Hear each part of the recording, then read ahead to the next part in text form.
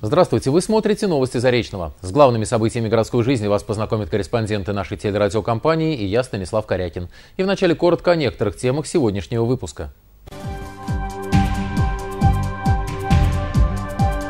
Заречная территория опережающего развития. В правительстве Пензенской области представлена концепция создания в закрытом городе территории опережающего социально-экономического развития. Мы говорим о новом векторе развития города Заречного, который может стать э, толчком к развитию промышленного приборостроения на территории э, не только Пензенского региона, но и всего Поволжья. Марафон добра продолжается. В рамках недели благотворительности в Заречном прошла донорская акция. Горожане сдали более 20 литров крови. Потребителем основным крови является онкологический диспансер областной, ну и различные хирургические отделения Пензы и области. Почетному гражданину города посвящается. Зареченский сенсор одержал победу в открытом всероссийском турнире по футболу памяти Василия Адаева. Первый гол был для нас самым счастливым. Мы думали, вообще вы проиграем. Но счастье в том, что мы заняли первое место, а не третье, второе. И теперь об этих и других новостях подробнее. Новый вектор развития Заречного на десятилетие вперед – станкостроительные и приборостроительные кластеры в рамках территории опережающего социально-экономического развития. Создание в закрытом городе Тассер обсудили с временно исполняющим обязанности губернатора Пензенской области Иваном Белозерцевым, начальник управления по работе с регионами госкорпорации «Росатом» Александр Харичев, мэр Заречного Вячеслав Гладков, глава города Олег Климанов и генеральный директор городообразующего предприятия Сергей Байдаров. Перспективы сотрудничества в реализации амбициозного проекта в первом материале выпуска. Заречный станет одним из первых ЗАТов, в которых в 2016 году будут созданы территории опережающего социально-экономического развития. Для таких территорий в соответствии с федеральным законодательством устанавливается особый правовой режим предпринимательской деятельности. Это должно способствовать привлечению инвестиций и ускоренному социально-экономическому росту. То, что касается ЗАТО э, и ТОРа территория опережающего развития в Заречном, мы совместно с нашим предприятием, совместно с администрацией города, властями города подготовили концепцию. Сегодня вот Валерию Александровичу ее представим, обсудим вместе с правительством области эту концепцию, доработаем. И у нас план такой, что до Нового года мы эту концепцию совместно с вами представим уже в Минэкономразвития в правительстве Российской Федерации. Проект всесторонне поддержит и региональные власти, заверил временно исполняющий обязанности губернатора Пензенской области Иван Белозерцев. Я вижу и консолидированные такие усилия, желания и значит, главы администрации, главы города Заречной, и Сергея Юрьевича. Вот все-таки, чтобы у нас э, была создана территория опережающего социально-экономического развития, и чтобы туда пришел инвестор, Работа по привлечению инвесторов уже ведется. Сформирован земельный участок площадью более 200 гектаров для будущей территории опережающего развития. Мы сейчас говорим о новом государственном проекте, который на период 70 лет. Да, то есть, и если город создавался для реализации проекта создания ядерного оружия э, в стране, то на сегодняшний день мы говорим о новом векторе развития города Заречного, который может стать э, толчком к развитию промышленного приборостроения на территории э, не только Пензенского региона, но и всего Поволжья. В этот же день в правительстве Пензенской области состоялось обсуждение концепции развития территории опережающего социально-экономического развития «Заречный». В целом, как отметили участники совещания, амбициозный проект практически готов к реализации. Что такое ТАССЕР «Заречный» и какие перспективы он сулит городу и региону в нашем следующем сюжете. В правительстве Пензенской области прошло первое заседание рабочей группы по содействию созданию в Заречном территории опережающего социально-экономического развития. Создание ТАСЭР или ТОР территории опережающего развития призвано дать мощный импульс экономике и социальной инфраструктуре города и региона в целом. В соответствии с федеральным законом на территории опережающего развития установлен особый правовой режим осуществления предпринимательской и иной деятельности в целях формирования благоприятных условий для привлечения инвестиций, обеспечения ускоренного социально-экономического развития и создание комфортных условий для обеспечения жизнедеятельности населения. Нам это очень интересно. И жители Пензенской области, города Заречного заинтересованы в том, чтобы такая площадка начала формироваться. которая привлекла инвесторов сегодня в Пензенский регион и создала новое производство, новые направления с участием предприятий Росатома. Начальник управления по работе с регионами Росатома Александр Харичев подчеркнул, что госкорпорации также очень заинтересованы в реализации проекта территории опережающего развития именно в Заречном. Здесь, по оценке Росатома, наиболее подготовленная база для создания ТОР и проработанная концепция развития.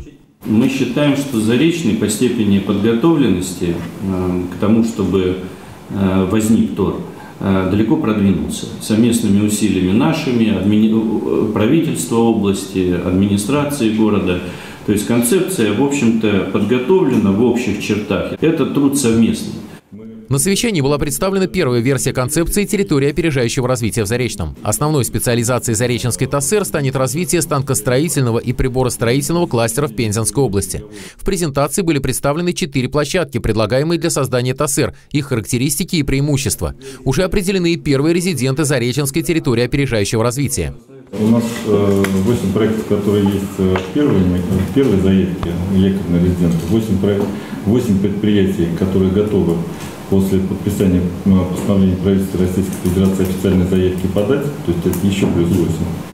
Мэр Заречного Вячеслав Гладков также подчеркнул, что ведутся переговоры об участии в проекте с торгово-промышленными палатами Саратовской, Ульяновской, Тамбовской, Самарской, Рязанской областей. По прогнозам на десятилетний срок объем инвестиций в Зареченский ТОР составит около 50 миллиардов рублей. Прогнозируемая ежегодная выручка более 53 миллиардов. На предприятиях компании резидентов планируется создать порядка 5 тысяч рабочих мест. Объем дополнительных налогов после выхода предприятия на проектную мощность около 6,5 миллиардов рублей. Мы заслушали первый драфт, скажем так, концепции, первую ее версию. Э, собственно, концепция проработана. Она уже представляет из себя цельный документ, но есть параметры, по которым нужно ее доработать. И мы взяли вместе с правительством области и администрации города, взяли месяц на доработку концепции. Прежде всего это касается системы управления территории опережающего развития и касается цифр, скажем так, финансовых показателей.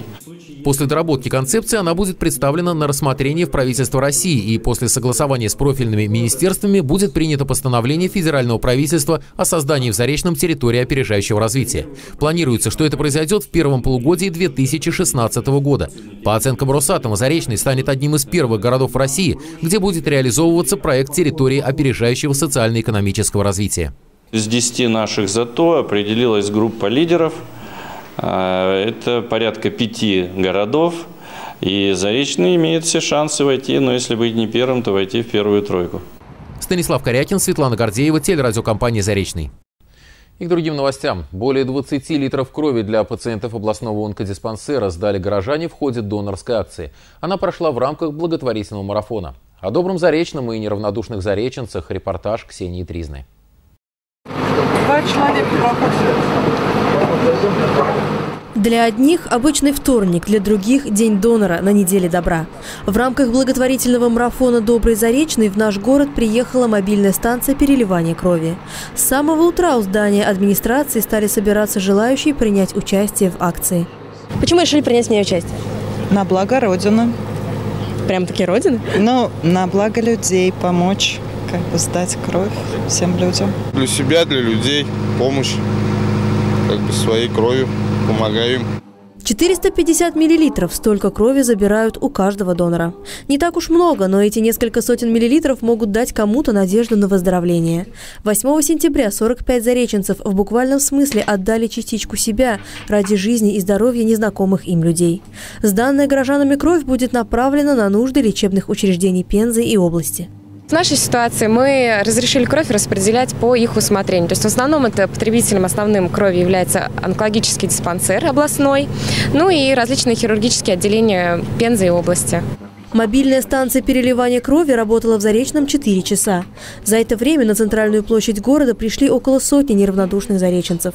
По итогам донорской акции удалось собрать более 20 литров крови. Ксения Тризна, Владимир Полищук, телерадиокомпания «Заречный». В благотворительный марафон «Добрый Заречный» активно включились и зареченские библиотекари. В дни проведения марафона в Центральном парке культуры и отдыха открывается читальный зал под открытым небом. Сотрудники Центральной городской, детской и семейной библиотек приглашают горожан на встречи с добрыми книгами. С 17 до 19 часов юных и взрослых читателей ждут книжные выставки, игры, викторины и призы. 9 сентября такая встреча будет посвящена творчеству Валентины Осеевой, а также книгам о природе. Свои добрые дела в рамках благотворительного марафона совершат и участники общественной организации многодетных семей Заречного «Мамы». Подробнее об их инициативах мы поговорим с председателем организации Еленой Гриценко. Это будет после основного информационного блока, а пока продолжим выпуск. 31 зареченская семья получила возможность улучшить свои жилищные условия. Будущие новоселы – участники подпрограммы обеспечения жильем молодых семей федеральной целевой программы «Жилище». Сертификаты на получение социальной выплаты вручили в торжественной обстановке во Дворце культуры «Современник». Выделенные средства семья может использовать на покупку жилого помещения или строительство индивидуального жилого дома. Всего за время действия программы в Заречном с 2005 года право на социальную выплату получили 565 семей. В 2015-м обладателями сертификатов станут 92 семьи, среди них 6 многодетных. В этом году 92 семьи – это почти в два раза больше, чем, например, город Пенза, который в 10 раз больше нас по размерам.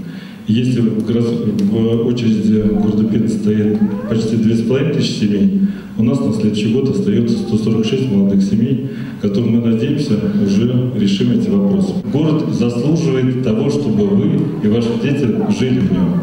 Без вас, без ваших детей город не может ни жить, ни развиваться. Делегация Заречного побывала на фестивале «Воронеж. Город-сад». Международную выставку-ярмарку посетили активисты Зареченского конкурса общественных инициатив «Мой дом, мой двор». Новинки ландшафтного дизайна, с которыми познакомились горожане, помогут им в создании неповторимого облика своих дворов. Современные тренды зеленой индустрии в материале Ксении Тризны. Пятая международная выставка «Воронеж. Город-сад» – это более 80 экспозиций, творческие площадки, мастер-классы и форумы. Принять участие в этом фестивале пригласили лучших российских и зарубежных специалистов по ландшафтному и флористическому дизайну, садово-парковому искусству. Воронеж гордится своим званием культурной столицы СНГ. Дружбе народов и национальной культуре стран Содружества независимых государств и посвятили часть выставки. Например, каждый мог примерить на себя национальные костюмы из цветов, попробовать традиционные блюда разных стран или послушать этническую музыку.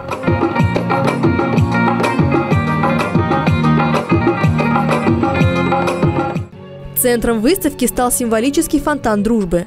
Флористы представили его в виде огромного цветка, лепестками которого служат флаги стран СНГ, выложенные из живых цветов. На фестивале в Воронеже побывала и зареченская делегация. Самые активные участники конкурса общественных инициатив «Мой дом, мой двор». Они приехали на выставку, чтобы познакомиться с опытом благоустройства и озеленения немножко создать свой двор, более укомпоновать, как-то поинтереснее его сделать. Можно что-то почерпнуть. Уровень, конечно, высокий, но можно что-то почерпнуть для своего города, для своего двора. Как композит. Э, в композиции работают разные растения. Даже интересно смотреть. Хвойники, лиственники, декоративные. Ну, в общем, конечно, интересные. Почвопокровные растения. Но всего не расскажешь. Поучиться здесь действительно было чему. Одна из экспозиций выставки называлась «Вторая жизнь вещей». Здесь флористы продемонстрировали, как из старых ненужных вещей и цветочного декора создать оригинальные украшения для сада или приусадебного участка. А из овощей и фруктов можно сделать настоящую картину. Больше всего участников привлекла соломенная деревня Красная Слобода. На ее создание потратили несколько десятков тонн сена, а для детворы поставили деревянные качели качели там старины самобытные, потом э, этот предельный э, этот ткацкий станок там есть. Ну, вообще, э, кузнец там, эти розочки такие с, с, наковал. Очень понравились деревья, такие экзотические, даже вот сейчас драцену прошли мимо, в жизни не видела такой хвойники вообще это безумие какой-то. Такой, такой красоты не видел даже в Москве. Зареченцы приняли участие в мастер-классах, погуляли по торговым рядам и купили редкие интересные растения. Продемонстрировать то, чему они научились, городские благоустроители смогут совсем скоро на фестивале «Заречный в цвету». Активные горожане, которые сегодня присутствуют на выставке «Воронеж. Город. Сад», а, они будут делать свои экспозиции на фестивале. И я думаю, уже в этом году, 12 сентября, мы увидим какие-то новинки, которые они смогут применить э, вот на этом фестивале. А в следующем году дизайнеры-любители смогут воплотить все оригинальные задумки и идеи в собственных дворах. И тогда наш город заиграет новыми красками. Ксения Тризна, Ольга Савкина, Владимир Полищук, телерадиокомпания «Заречный». И о спорте. Блестящей победой зареченских футболистов завершился всероссийский турнир по футболу Кубок Союза памяти почетного гражданина Заречного Василия Адаева. На соревнования съехались юные спортсмены 2005-2006 годов рождения из Пензы, Саратова, Республики Мордовия. Итоги четырехдневного футбольного марафона в материале Светланы Теплухиной. Четыре дня напряженных игр, семь сильных команд, настроенных только на победу. Кубок Союза, прошедший в детском оздоровительном лагере «Звездочка», по накалу борьбы не уступал серьезным взрослым футбольным турнирам, хотя на поле выходили 9-10-летние мальчишки.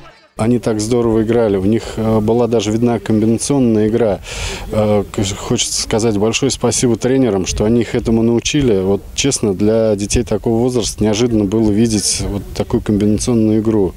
То есть это взрослые, скажем, взрослые игроки, но в уменьшенном формате. Очень здорово они смотрелись. Ставший уже традиционным всероссийский турнир памяти почетного гражданина Заречного Василия Адаева собрал команды из Пензы, Саратова и Саратовской области Республики Мордовия. Прием, оказанный гостям в Зареченской звездочке, приятно удивил и тренеров, и их воспитанников. Впечатления замечательные, э, если так э, сравнивать, где я был. Конечно, питание здесь умопомрачительное. У нас, наверное, в весе все прибавили, кто здесь питался. Ну и сама организация, все для нас, все в шаговой доступности. Мы и баскетбол играли, и вот мини-футбол играли, на песке играли, то есть великолепно. Турнир всем очень понравился. И таких условий, как в нашем лагере, и пензенские отметили, то есть нет такого.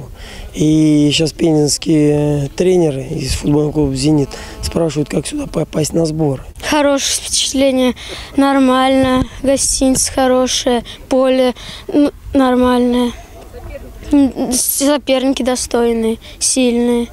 Среди сильных соперников – зареченская команда «Сенсор» под руководством тренера Вадима Романова. Из семи сыгранных нашими ребятами матчей всего одна ничья и шесть побед.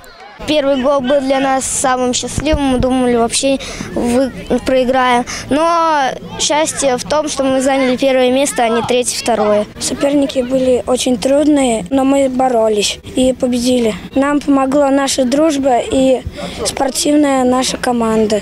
Наша сильная команда и держала. В итоге Кубок Союза остался у хозяев состязаний, а в числе лучших игроков турнира были названы зареченцы Андрей Заболонков и Михаил Изосин. Награды им вручила почетная гостья соревнований – вдова Василия Адаева Раиса Николаевна. Светлана Теплухина, Александр Дубицкий, телерадиокомпания «Заречный».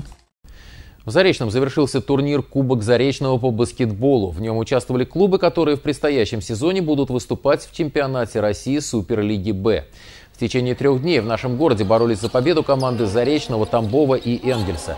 Первым соперником нашего союза стал энгельский клуб «Строитель». Зареченцы уступили в концовке, но по ходу матча команды показывали равную игру. Встреча Союза и Тамбова тоже закончилась победой гостей.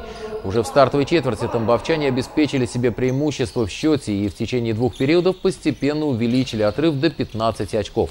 Третьей четверти игроки «Союза» попытались переломить ход матча, отыграли одно очко и в финальной десятиминутке еще два.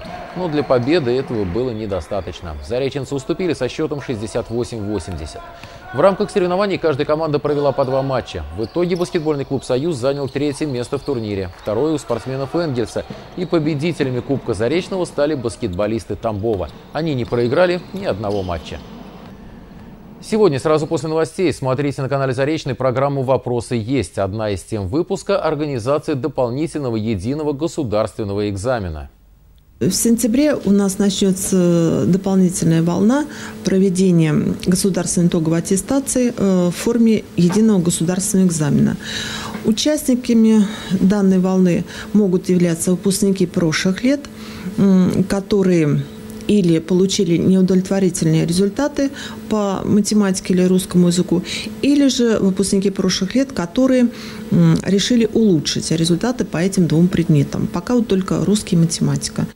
Полный ответ главного специалиста Департамента образования Ларисы Колесниковой смотрите в программе «Вопросы есть». В этом выпуске представители организаций и предприятий города расскажут о подготовке Заречного к отопительному сезону, о порядке присвоения ветеранам атомной энергетики и промышленности звания ветеран труда и разъяснят, в течение какого времени дети могут находиться на улице без сопровождения взрослых. Ответы на эти и другие вопросы сегодня на канале «Заречный». Смотрите программу «Вопросы есть» сразу после выпуска новостей. А мы прервемся на короткую рекламу. Не переключайтесь.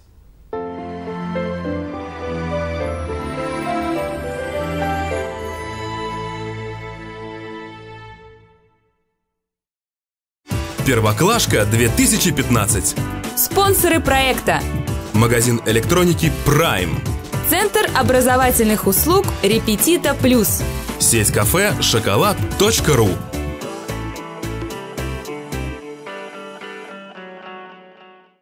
Здоровье – самое дорогое, что есть у человека. Беречь его надо с самого рождения и продолжать заботиться о нем всю жизнь. Городской профилакторий приглашает жителей города для лечения сердечно-сосудистых, желудочно-кишечных заболеваний, болезней костно-мышечной системы, суставов и органов дыхания. Современные методы лечения позволят вам нормализировать давление, снять стрессы и неврозы. Высококвалифицированные специалисты помогут вам укрепить здоровье, повысить тонус и сбросить вес. Городской профилакторий, улица Заречная, 19, телефон 60 67 99. Программа «Страна Росатом». Новости атомной отрасли, концерна «Росэнергоатом» и пристанционных городов. В эфире каждую среду в 20 часов. Первоклашка 2015.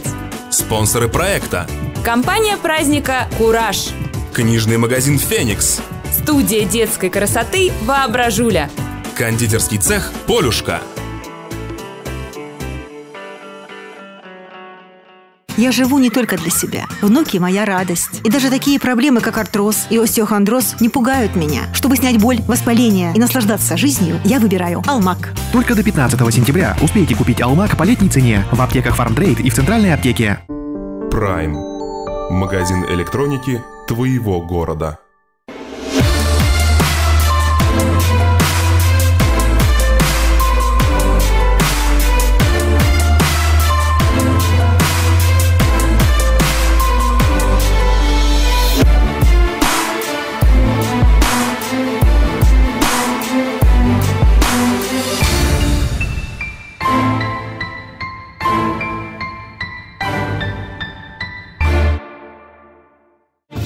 Вместо горячей воды течет холодная.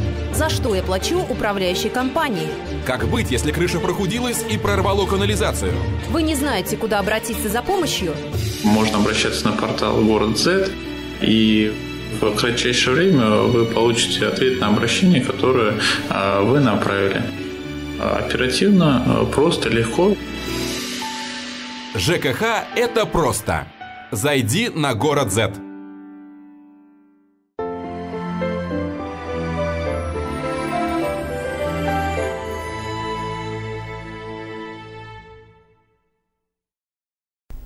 Новости Заречного в эфире. Я напоминаю, что сегодня у нас в гостях председатель общественной организации многодетных семей Заречного «Мамы» Елена Гриценко. И мы обсуждаем участие общественной организации в Добром Заречном.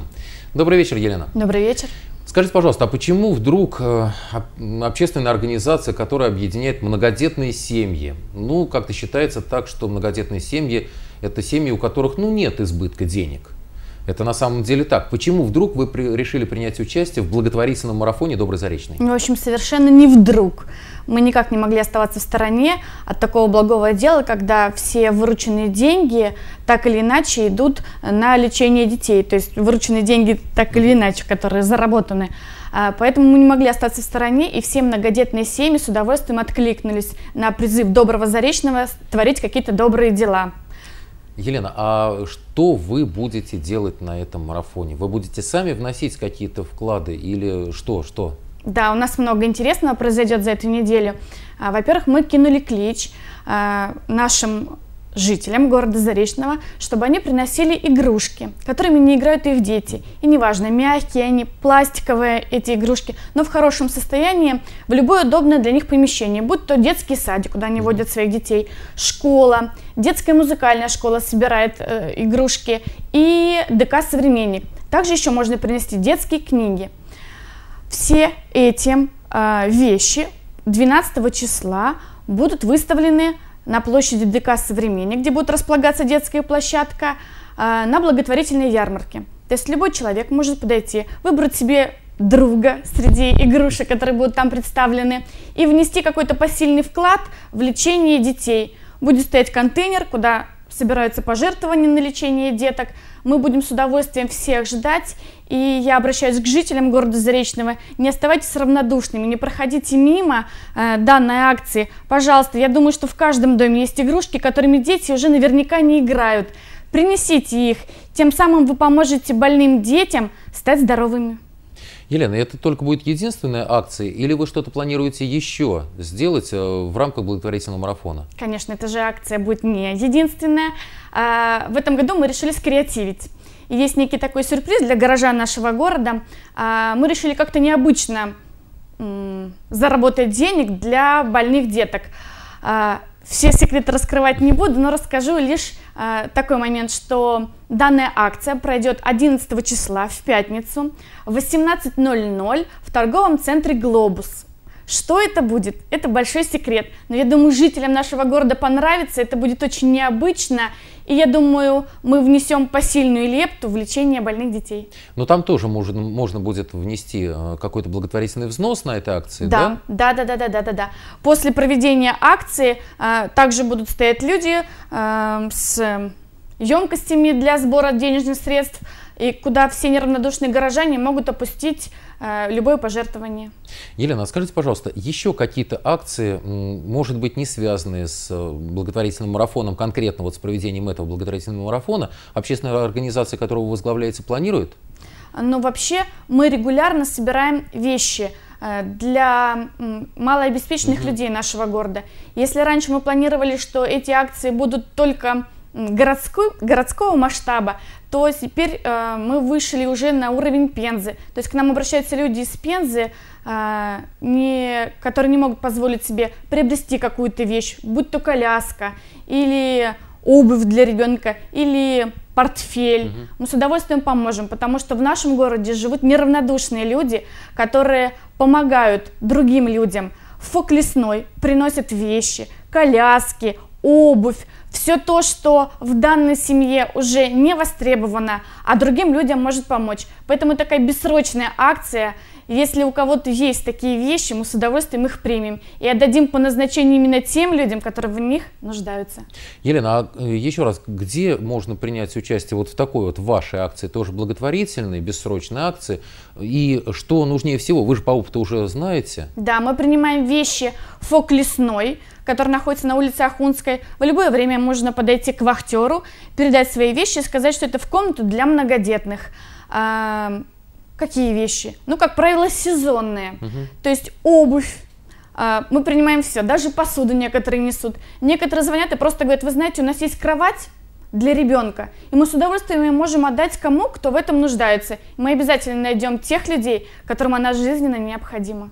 То есть практически любые вещи, но это связано именно с детьми? Нет. Э, как смеемся мы, многодетные семьи, э, данная акция от нуля до 100 лет. То есть неважно на какой возраст, главное, чтобы эта вещь была э, в достойном состоянии. Елена, большое спасибо вам за участие в нашей программе. Я надеюсь, что зареченцы присоединятся не только к вашей акции, но вообще ко всему благотворительному марафону «Добрый Заречный». Заречный действительно добрый город. Спасибо, Елена. Всего вам спасибо. доброго. Это все, о чем мы успели рассказать вам сегодня. Я прощаюсь с вами и вам. Всего доброго и до встречи на канале Заречный. Спонсор прогноза погоды – компания «Ремстрой». Новейшее высокоточное оборудование. надежное программное обеспечение, высококвалифицированные кадры. Все это залог успеха пластиковых окон компании «Римстрой». С компанией «Римстрой»